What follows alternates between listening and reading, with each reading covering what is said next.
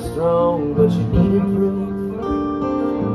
You saw her bathing on the roof, and her beauty in the moonlight, it overthrew you.